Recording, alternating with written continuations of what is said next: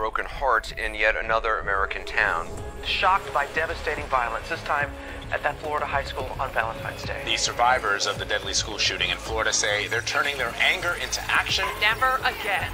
That's the rallying cry. The adult politicians have been playing around while my generation has been losing our lives. Hello, I'm Richard Gizbert, and you're at the Listening Post. Here are some of the media stories we've been tracking this week. We call BS! The teenage survivors of the latest U.S. school shooting have brought the skills of a new media age to America's debate over gun control.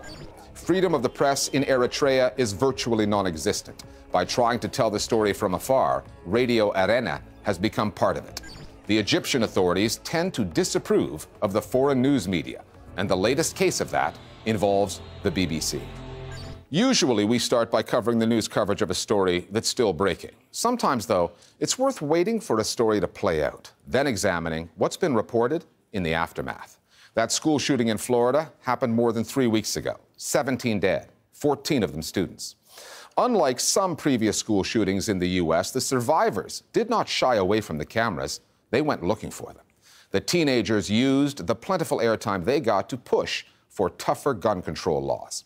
And they found themselves taking on not just politicians, but one of the most potent lobby groups around, the National Rifle Association, the NRA.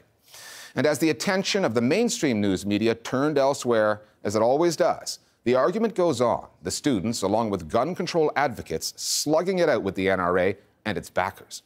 Our starting point this week is the media space in which most of this fight is now being waged online.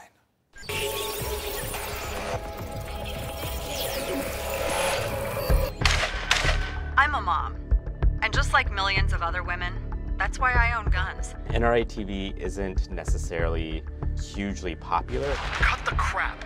Fight this violence of lies with the clenched fist of truth. But when they do put out a message, fighting for every inch of our freedom, it is so good. We demand the freedom to defend our families. I watch those videos, and by the end of it, I'm like, I need to go get me a gun, right? That's the idea. NRA TV wants more Americans to buy guns. It goes after those who stand in their way. And that, the channel would have you believe, includes the U.S. mainstream news media. The mainstream media love mass shootings. This video, posted seven days after the massacre in Florida, did not target politicians or activists advocating gun control. It was devoted in its entirety to the way the news media cover the issue. The mainstream media just put out the casting call for the next mass shooter. Well, as a conservative who has spent much of my career condemning the liberal mainstream news media in this country, I think that philosophically, the NRA is right to do it. Now, do they overdo it? Uh, probably so. Tragedy is their business model. Mainly because when you don't like the message, you attack the messenger. To those who stain honest reporting with partisanship. It plays very well. It is red meat to the conservative base. It's in the NRA's interest to convince their user base that the mainstream media can't be trusted. The hatred, the pettiness, the fake news. We are done with your agenda to undermine voters' will. Because if their users mistrust the mainstream media, they're going to be more likely to listen to NRA as a source for their news. The first mass school shooting of the modern era in Columbine, Colorado took place in 1999. Since then, the set piece coverage has developed along lines like these. The mainstream media provide initial wall to wall reporting, while endeavoring, they promise, to respect the wishes of the bereaved. The identity of the perpetrator is revealed, their social media accounts scoured for motives and ideologies. The gun control debate rises to the top of the news agenda temporarily, and American legislators, scores of whom accept donations from the NRA, offer tweeted thoughts and prayers, as opposed to meaningful change, as the story recedes from view. This time around, however, there were some wild cards in the mix. Surviving students who, through their savvy communication skills and social media accounts, made their voices heard and drove the news coverage in a way that no one at Columbine could back in the day. These are students that were raised with the expectation that a mass shooting could happen to them. They have watched other shootings happen on TV. They have grown up with this as a real possibility in a way that in 1999 was not the case. So they responded in a much different way. It's something that they have studied and thought about. So when it happened to them, they were ready to speak and they were prepared to speak. The kids nowadays have uh, practice in performing to wider audiences. We call BS! They are on social media constantly. They know exactly how to talk to wider audiences, exactly how much they have to be informed in order to talk to wider audiences. So it's something that most of us don't actually know how to do, and I think that played a huge part in this. I mean, these kids at the end of the day that the shooting happened had already mobilized an entire movement, and that's something that we've never seen before. We've certainly seen people advocate for gun control and, you know, stronger regulatory measures in the past, but to have it done so outspokenly by survivors in such an immediate way hasn't really happened. Students. The students propelled themselves into a position of prominence and landed on a national stage a CNN town hall debate on the issue of gun control. Why do we have to march on Washington just to save innocent lives? Critics on the right accused CNN of exploiting the students, saying the time was not right. The wounds were still too fresh to talk about gun control. An argument somewhat akin to saying that after a terror attack, news outlets should not discuss national security. CNN doing the television town hall and providing a forum for the students was absolutely not exploitation. I really am bothered by the notion that students advocating for their own right to safety in the school is exploitation. Senator Rubio, can you tell me right now that you will not accept a single donation from the NRA in the future? It was a staggering moment of television where you had politicians who take NRA money, like Marco Rubio, uh, and you had the NRA spokesperson, uh, Dana Loesch, actually have to face student survivors uh, in real time on television. Conspiracy theories born on the internet, one of which suggested some of the students were imposters, actors infiltrating the story, made their way onto mainstream right wing outlets like Fox News. And the allegation has been that they are in some way in contact with organized anti gun groups and people. Exploitation by the liberal media, outright fraud on the part of some students.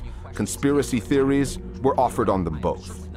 Part of the students' power is that they are young, that they experience this firsthand. It gives them a moral authority, and the best way to undercut that is by undermining their credibility. There's been all kinds of conspiracy theories. They've doctored yearbooks to make it seem like the students don't actually go to Marjory Stoneman Douglas High School, that they go to another school. There was a theory floated that one of the students, David Hogg, was actually a 26 year old felon from California. And this narrative made it onto Fox News. In fact, this narrative made it onto Fox News several times to the point that other outlets like CNN and MSNBC had to talk about this conspiracy. These people saying this is absolutely disturbing, and I'm not an actor in any sense, way, shape, or form. I would say if you're able to make it onto the three biggest cable networks in, in US television, your conspiracy theory is wildly, wildly successful. Now, this is just crazy. Uh, it's absolutely nuts. There's no logic nor evidence to support it. But that, unfortunately, doesn't seem to matter in this very strange world we're now living in because people will believe whatever they want to believe. And it certainly doesn't matter to the media outlet who is selling the conspiracy theory. And it was an indication of just how broken our news media in this country is, especially when it comes to partisan outlets like Fox News Channel or others that try to emulate being Fox News Channel on the internet. So, where does the story go from here? Probably nowhere. It does what all school shooting stories have done, with NRA TV chipping away at the credibility of the liberal media with every broadcast. Conspiracy theorists selling their wares in the right wing bubble, and a little help from Fox News and a few others, the story just fades away. Their social media skills and powers of persuasion served the students well, extending the story's lifespan and likely changing the template of the coverage of such tragedies in the future. What they haven't changed is the outcome. Maybe next time.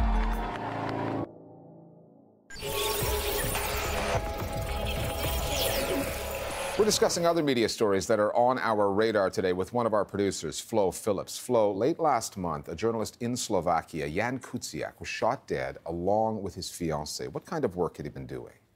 Kuciak was investigating the influence of the Italian mafia in Slovakia and its alleged ties to people close to the Prime Minister there, Robert Fico. Kuciak had been working on the expose for his own online publication, aktuality.sk, and although he was killed before the article was finished, it was actually published posthumously. This is the first killing of a journalist in Slovakia since it became an independent country in 1993. So, what kind of impact has it had there? Seismic. Last week, thousands of Slovaks marched across 25 cities carrying banners that read, An attack on journalists is an attack on all of us. Now, Fico has made no secret of his contempt for journalists in the past, calling them dirty anti Slovak whores and slimy snakes. He's clearly feeling the heat on this case, though, offering a 1 million euro reward for anyone who comes forward with information about the killings. And this is not a case to be viewed in isolation, is it? Definitely not. This is the second time in just six months a journalist has been murdered inside Europe's borders. Last year, Daphne Caruana Galizia, a Maltese investigative journalist, was killed by a car bomb. She too was working on stories about corruption and the mafia. Now, the other story that you've been looking at involves the BBC's coverage of the troubled state of human rights in Egypt and the serious ramifications that came out of one particular report. At the end of February, the BBC, which is actually one of the few international news outlets that still has a bureau in Egypt, aired a piece by its Cairo correspondent, Orla Guerin. It's as if the revolution has been erased, and along with it, the hope it brought. It was part of a series detailing stories of torture and of people being disappeared, allegedly by the state. And with the presidential election coming up, this report has not gone down well with the authorities in Egypt, has it? Not at all. In that BBC report, there was an interview with a mother who talked about her daughter, who she said had been forcibly disappeared.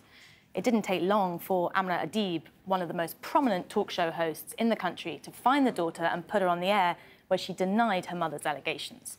Then, Dia Rashwan, the head of Egypt's State Information Service, the SIS, called into Adib's show. في رايي من المفروض انه يعني البي بي سي تتعامل معاه بكل الحزم وانا اظن ان ده ربما ربما ربما يكون نهايه رحله اورلا جورين المهنيه عمرو وانا The SIS then issued a long statement critical of Guerin, questioning her integrity and calling for a boycott of the BBC. It's not the only example of Egyptian authorities teaming up with the media there to discredit the coverage of the country by foreign news outlets, and I'm sure it won't be the last. Okay, thanks, Flo. Every year, the French media watchdog group Reporters Without Borders ranks countries in its index on press freedom. Eritrea has consistently been the worst of the worst until this past year when it rose by just one place above North Korea. There is only state run media operating within the country, so many Eritreans rely on a news outlet operating in exile. Radio Erena is based in France with journalists across Europe and beams its way home via satellite and shortwave. The station has come to inadvertently provide a lifeline for some of the thousands of refugees fleeing Eritrea every month. Many are kidnapped along the way by human traffickers and held for ransom. For them, Radio Erena plays two roles one part news source, one part hostage negotiator. Before we show you this report, know this. We tried to talk to Eritrean officials to get their side of this story, and they weren't interested.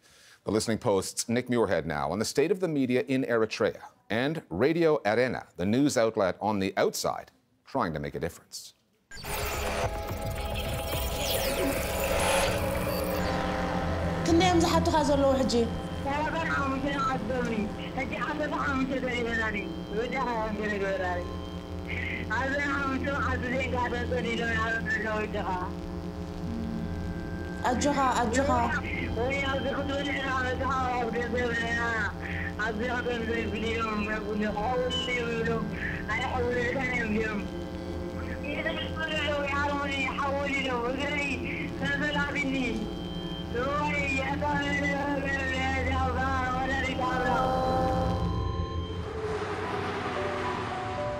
This is Meron Estefanos. She is a human rights activist and a journalist at Radio Erena. On her show, Voices of Eritrean Refugees, Estefanos highlights the plight of those who have fled her home country. And in doing so, she's become a big part of those stories. Hello? Hello? Hi, Mangus. The man that just called me, his two children who are 12 and 13 got kidnapped in Sudan and he's being asked for $10,000. And this is a newly arrived refugee himself that have no money. So I was trying to convince him it's okay, you know, call my friend, I send you the number, uh, she will help you. To understand why Eritrean refugees call a journalist in Sweden when their loved ones are held for ransom in North Africa, you start with the story of Eritrea. After a 30 year war of independence with Ethiopia, the new president, Isaias Afwerki, who has now been in power for 26 years, chose not to hold elections but keep the country on a war footing. In 2001, he shut down all privately owned news outlets and began expelling foreign correspondents until none were left in the country. All that remained was state media, news outlets that toe the government line. So there is only one government newspaper, one TV station, one radio station all run by the, by the state, and journalists of those who work in the government like they don't have any freedom to express or they don't have like. So the media basically portrays as if the country is progressing, well as where everybody knows that the country is just like regressing again. When the Arab Spring was happening, the Eritrean state TV, like none of the Eritrean uh, state media was reporting what was going on in Tunisia, in Egypt, in uh, Libya. I remember watching the day that uh, Mubarak was ousted. I started watching the state TV the whole day, thinking, will they say something? It was never mentioned. So uh, the people are very ignorant. They do not discuss real issues that happens in the country. Any meaningful journalism on Eritrea tends to happen from outside of the country, which is why we're here in Paris. It's where Radio Erena is headquartered. It was set up in 2009 by a group of exiled journalists who used to work for state media. Now, from the safety of France, they can cover issues like immigration, national service, and the Constitution. Radio Erena was set up with financial assistance from the media watchdog group Reporters Without Borders. According to research conducted by the media development group Deutsche Welle Academia, it is now the second most listened to radio station in Eritrea, behind only the state broadcaster. Our first target is the people in Eritrea, uh, of course. Uh, we broadcast via satellite uh, and shortwave. Inside Eritrea, the only channel you get is the government uh, uh, media. Of course, the Al Jazeera, CNN, BBC, uh, other medias, you can find them on the uh, satellite channels, but not in, in their own language, not in, in, in Tigrinya. We also stream uh, online for uh, Eritreans outside the country, which is our second target audience. Most of the news that Radio Erena broadcasts are, are, not covered by the local media. It helps confirm the rumors in, in, town by doing interviews or by getting access from other sources. That's how it just became like lifeline between home and the diaspora. Eritrea produces an estimated 5,000 refugees a month. For many, Radio Erena is their primary source of information and can mean the difference between life and death. They face different challenges along the way, so Radio Erena tries to produce coverage that will help them at every stage. We kind of uh, put them in three uh, different uh, categories. For those who are inside the, the refugee camps, uh, we try to explain the hardship, the danger they face if they try to cross to uh, European countries.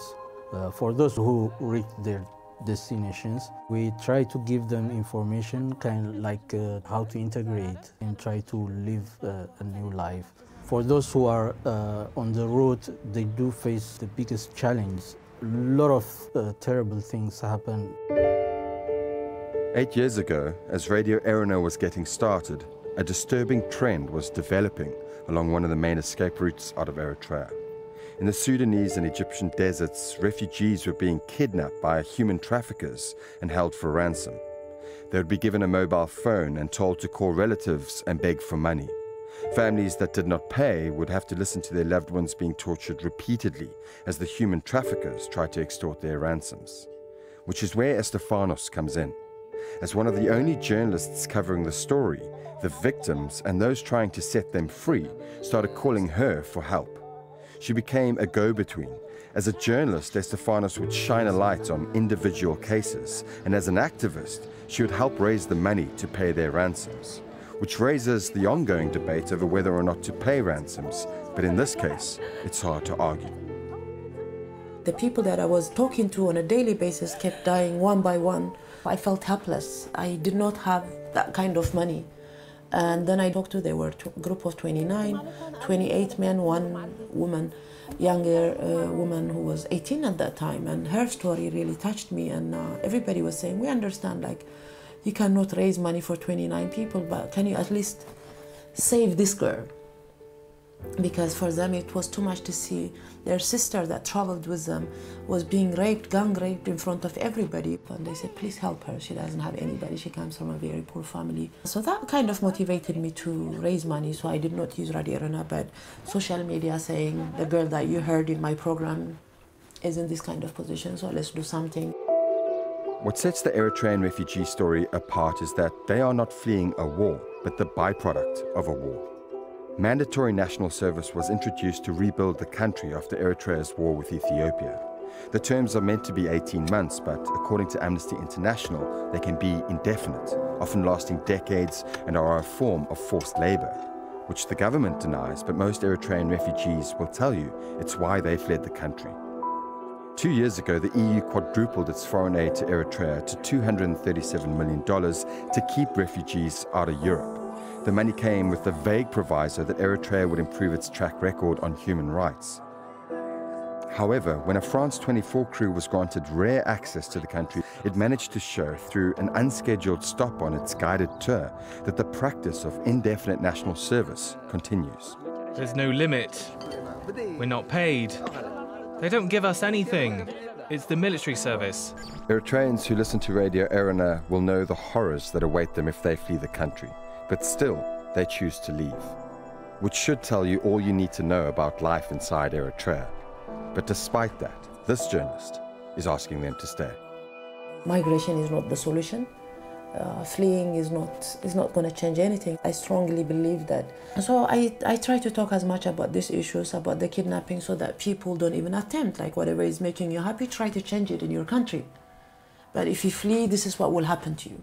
So discouraging people from fleeing from Eritrea, this is one of the things that I fight for. Inside uh, Eritrea, people are afraid of uh, talking, and there's mistrust between colleagues, neighbors, friends. What we uh, created is people start to talk uh, what they hear about uh, uh, Eritrea from, from our radio. So if you start talking about some issues, then you're building trust. I think it has a lot of impact in, inside Eritrea. Finally, going back to that BBC report that we touched on earlier on human rights violations in Egypt. When the disappeared daughter turned up on Amr Adib's program, she became part of his diatribe against the BBC. But the BBC is not the only international news organization to come under attack by figures in the Egyptian media. We'll leave you now with some of Adib's shenanigans, along with a few other examples of the kind of routine discrediting of foreign news outlets that Egyptians can see on their airwaves week in and week out. We'll see you next time here at the Listening Post. دي قصة زبيدة هي دي كل المعلومات اللي عندنا وهو طبعا يعني آه الأمر يعود لحضراتكم إن أنتوا تشوفوا الحقيقة إيه وإيه الموضوع. وأرجو إنه البي بي سي بموضوعيتها المعتادة إنها لما تشوف حاجة زي دي تقدر ترد عليها. حضرتك مقدم بلاغ ضد نيويورك تايمز أي. ومراسلها. احكي لي التفاصيل. اتهمت في ديفيد باتريك اللي هو المؤسس الصحفي اللي اذاع هذه المكالمات عبر التقرير الصحفي أنا عايز أسأل سؤال. هو ديفيد باتريك ده موجود في مصر؟ آه موجود في موجود مصر. موجود في مصر. يعني أنا بعتبر ديفيد باتريك هو عضو اصيل وأساسي في تنظيم الجماعة الإخوانية الإرهابية. مم. وده واضح يعني من كتاباته وتحقيقاته الصحفية من 2012 وقبل 2012 رويترز النهارده فبركه خبر وأنا بقول فبركه خبر شائعة أي كلام ضد مصر. خبر لف الدنيا. أنا بقول لكم لف العالم. الجزيرة بقالها مدة بتهذي هذيان وخلاص انتهت أسطورة المهنية بتاعت قناة الجزيرة. يعني يعني عصفوا بمهنيتهم بالكامل.